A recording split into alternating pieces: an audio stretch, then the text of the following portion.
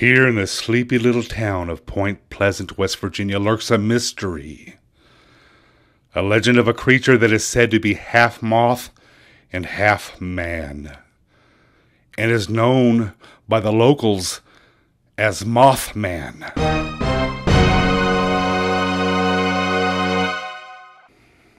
I was intrigued. My thirst for information on this elusive creature led me to 411 Main Street, where I found the only Mothman Museum in the world. Once inside, I found the museum's curator, Jeremy Pitchford, very helpful. How did Mothman get his name? Uh, it was from a Batman comic book series with a, a superhero named uh, Mothman, and originally it was called Birdman because it looked like a man with wings, so it looked like a bird. But the media basically came up with the name. Have you ever seen Mothman? No, and I really don't want to.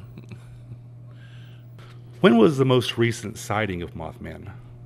Uh, according to we hear people say things all the time. Even the director of the museum gets, you know, some emails and all that. The tsunami in Japan, they said they saw it before then. Is Mothman dangerous? Well, it seems like if there's a catastrophe every time he's seen, I would say yeah. What is the best protection against an encounter with Mothman?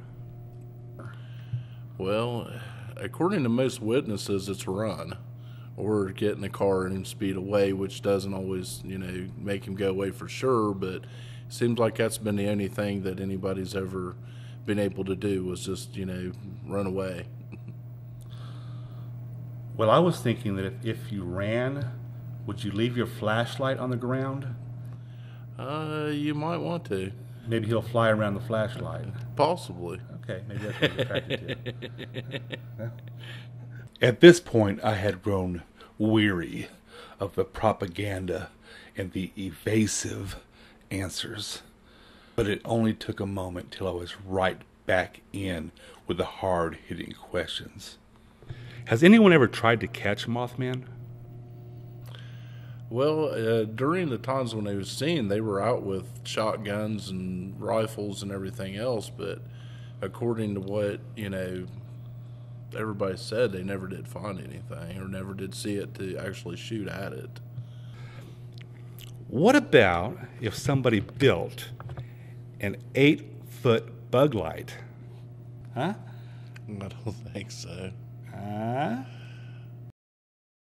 Uh, no. You might get a lot of moths, especially man. Probably no man with wings. I would say. You, you know, like how you step into a, a conversation with somebody, you go, "Why did I do that?" Here in Point Pleasant, this is C.R. Hayes reporting for WVSU Newsline. What the?